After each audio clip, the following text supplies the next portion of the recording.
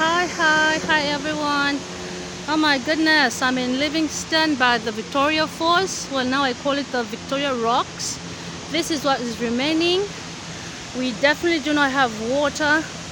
The load shedding, oh my goodness, we are in for it. But we just pray for God's mercy.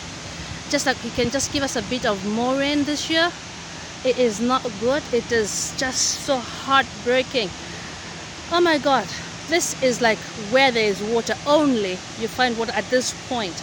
And if you look so closely where the water is coming from, even closer to just oh my goodness we are remaining with the victoria rocks and uh, we do have some uh, an influx of uh, tourists coming to see the rocks but we need the water we need the water seriously